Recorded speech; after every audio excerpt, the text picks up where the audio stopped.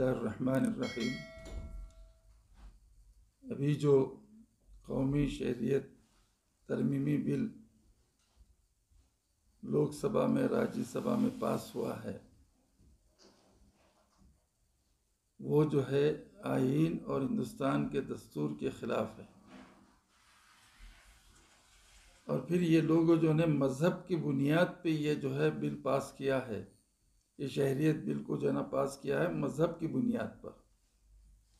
हिंदुस्तान का जो दस्तूर है, वो दस्तूर जो बाबा अंबेडकर ने, साहब ने बनाया है, वो दस्तूर के अंदर मज़हब के नाम पे जो है इस तरह से अलग करने का जो है ना कहीं भी जो है ना कुछ नहीं लिखा गया।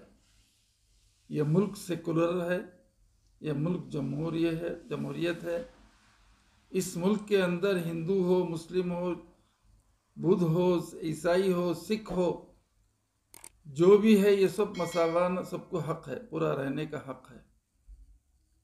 ये जो पार्टी आरएसएस और बीजेपी की पार्टी है, इनको जो है मज़हब से, इन तमाम से मुसलमानों को हटाकर जो है ना, हिंदुस्तान में ऐसे कानून बनाना चाहते हैं कि मुसलमान इस मुल्क में ना रहे और मुसलमान का जो है ना, वजूद इस मुल्क के अंदर ना रहे। और बा, बार बार इन्होंने ऐलान भी किया आसाम में और बंगाल में अमित शाह साहब ने। एक बात कही कि पहले हम कौमी शहरीत बिल तरमीमी बिल लाएँगे उसके बाद एनआरसी लाएँगे। अब ये कहते हैं कि मुसलमानों को घबराने की ज़रूरत नहीं है मुसलमानों को परेशान होने की ज़रूरत नहीं है। तो ये खुल के कहें कि एनआरसी नहीं ला रहे हैं।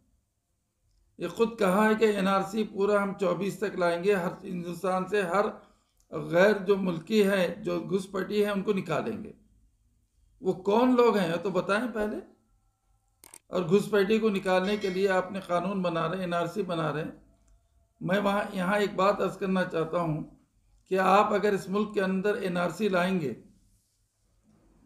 मेरे घर के बाजू हिंदू भाई का घर है। अब जो एनआरसी वाला आएगा तो उस हिंदू भाई के पास नहीं जाएगा, इसलिए कि उसको शहरियत मिल चुकी है। हिंदुस्तानी शहरीत मिल चुकी है, वो तो मेरे पास आएगा ना, मेरे से पास पूछेगा।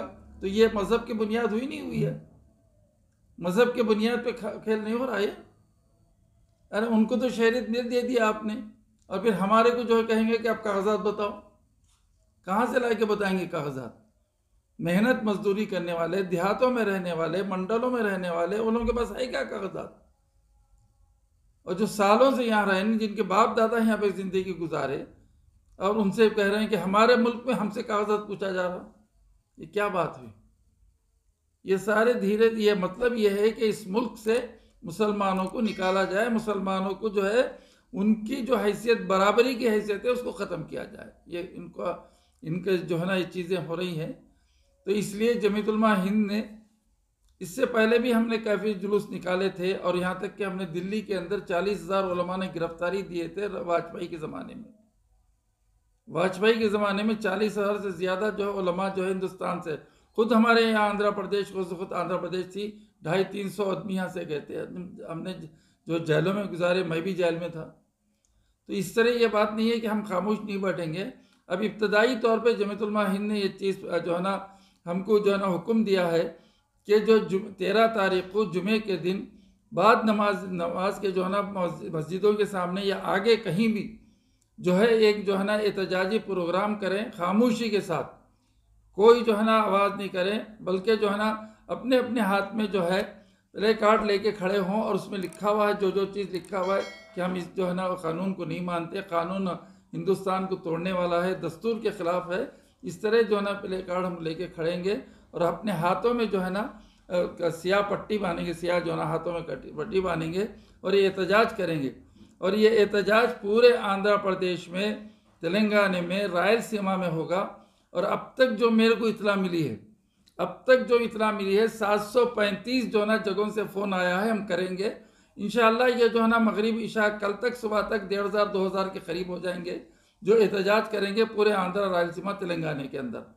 और कोई जुलूस की शक्ल नहीं रहेगा, ये एहतजाज करेंगे, पहली दफ़ा हम एहतजाज करेंगे, हम इस बार इस कानून को मानेंगे नहीं, वापस लीजिए अब कानून को। ये हमारा मुतालबा रहेगा। और हम ये चाहेंगे कि जो हुकूमत को दर्ज कराएँगे, ये सिर्फ़ आंध्रा, तेलंगाना, रायलसीमा में नहीं है।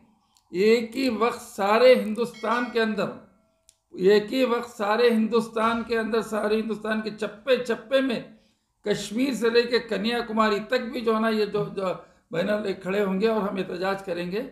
ये एक जो ना आवाज़ है जमतुल्मा हिंद की, क्योंकि इससे पहले भी लोग दे चुके हैं। अमन रियाली जब निकाला गया तो लाखों की तादाद में पूरे हिंदुस्तान के अंदर खुद परेशान थी हुकूमत कि इस तरह निकले थे हमारे। तो ये चीज़ें हम हम शुरुआत कर रहे हैं। कोई पीसफुल है हमारा, कोई जो है ना एहतजाज नहीं रहेगा। हम ये कहेंगे कि कानून को हम नहीं मानते। कानून को ये बदलो तुम, या कानून को वापस लो। यही चीज़ हमारा मुतालबा है, ये शुरुआत है हमारी जमतुलमा की। ये क्योंकि मैं आंध्रा रायलसीमा तेलंगाना का जिम्मेदार हूँ, इसलिए अब तक हमारे पास रिपोर्ट आ रही है। बल्कि ऐसे ऐसे रिपोर्टें आ रही हैं कि लोग ये कह रहे हैं कि और जमातें भी शरीक हो रहे हैं। यहाँ तक कि गैर मुस्लिम अहबाब लोग भी शरीक हो रहे हैं इसके अंदर आके। तो अच्छे है तो हम तो चाहते हैं कि भाई आएँ और आवाज़ उठाएँ, आवाज़ उठा के कहें कि ये कानून जो इस जो ना सियाह कानून है, ये कानून सिर्फ़ मज़हब की बुनियाद पर बनाया गया। मुसलमानों को अलग करने के लिए बनाया गया।